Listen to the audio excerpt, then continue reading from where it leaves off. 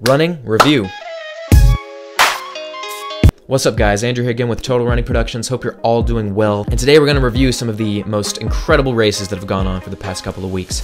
So without further ado, let's talk running. Buck Weasel writes, I think Jakob will run a 1500 meters in about 327 or 328, mile in 343, and maybe a 1240 or 1245 5K. Now this is a pretty solid prediction. This is pretty similar to what I said for Jakob's future. I don't see him equaling or breaking the world record in the mile or the 1500, um, but I think his potential lies in the 3000 and the 5000 meters. I said that before. I just see him as an endurance athlete. I think he's got great strength Focus on the 3K, focus on the 5K. I think that's his future. And again, I would love to know what you think he's going to be able to run um, in the mile, in the 5K, 3K, half marathon, all the distances. Comment down below. Um, so that's what I think. Josh Woolger writes, You made this video on Yomif Kejelcha a few hours too early. He is now the indoor mile world record holder.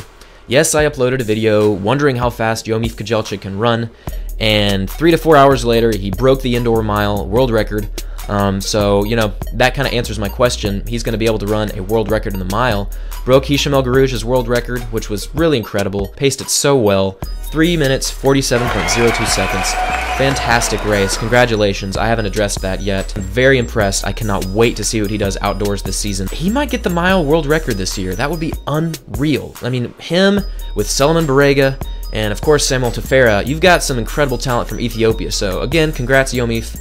Looking forward to your outdoor season. Linkmon99 writes, I think this summer will be the first one in many years where world records are threatened in distance running. Yeah, uh, absolutely. Um, one already went down indoors. Again, Yomif Kejelcha. Um, I think the world record in the 1500, the 5K, maybe not the 10K, but the 5K is definitely on the table. So the 1500, the 5K, Kenenisa Bekele and Hicham El Guerrouj, look out. The world records are in real danger. I think if anyone would break the 5K record, probably Selemon Barega. At the end of the year last year, he ran a 1243. I mean, that's fast. Benjamin Karp writes, Can you do more analyzing the greats? I really like those episodes, and I think there's still more people to do. Absolutely plan to do those, and um, yeah, there's a there's a lot more athletes to cover. I mean, I've got Evan Jager on my radar. I've got Emil Zatopek, Mary Keitany, Meseret Defar. I've got Roger Bannister, I've got a bunch of athletes that I want to do an analysis on. Um, there's an endless pool of great distance runners over the years, so definitely expect more soon. Desmond Yap writes, Katelyn Tuohy is perhaps the next Olympian, along with Sydney McLaughlin.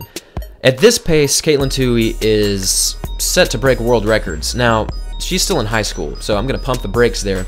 Uh, and when I posted my video, a lot of people were saying, yeah, she's still really young, so you can't really predict the future for her. And I agree. In fact, I only wanted to see what she was going to run in high school because, I mean, she's still so young, and female athletes occasionally do have really successful high school careers, even their college careers are still successful, but they don't improve as much as they thought they would. So for Katelyn Tuohy, will she be an Olympian?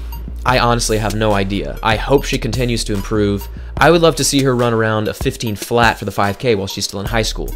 Not sure if it's going to happen. Now, Sydney McLaughlin, yeah, she's definitely going to be an Olympian. No question about that. Katelyn Tuohy still has some time to break off of her PRs, but if she still continues to improve, um, I see no reason why she wouldn't be an Olympian. Honestly, she's a fantastic runner. Yeah, I just wish her all the best. Randy Randy writes, Why do I watch you? I'm a sprinter. Stop making good content. Randy, it's okay. You are more than welcome to watch runners that I analyze, mostly distance runners. But I also love sprinting. If you look at my videos, I've got videos on Christian Coleman, Yohan Blake. I have one on Usain Bolt. I mean, I love pretty much any event in track and field. Now, this is Total Running Productions, but that doesn't necessarily mean I favor one over the other. Uh, I love distance running, love sprinting. Stay tuned. And last but not least, how fast can Total Running Productions run though? You know, that's a great question. And I was a little hesitant to share this information because, honestly, who doesn't want to have faster PRs, but I'm to share it. Who cares? My mile PR is 437, my 2 mile PR is 1008, my 5K PR is 1646, and my half marathon PR is 117.57. I'm sure a lot of you guys are a lot faster than that. In fact, why don't you share your PRs with me? I would love to see what you guys have. Definitely hoping in the future to break some of those again, but hey, there you go. All right, guys, thank you very much for watching. This has been Let's Talk Running. It's March 2019. Outdoor season track and field is coming up. Super excited. Like, subscribe, comment below, ring the bell, and as always, keep on running.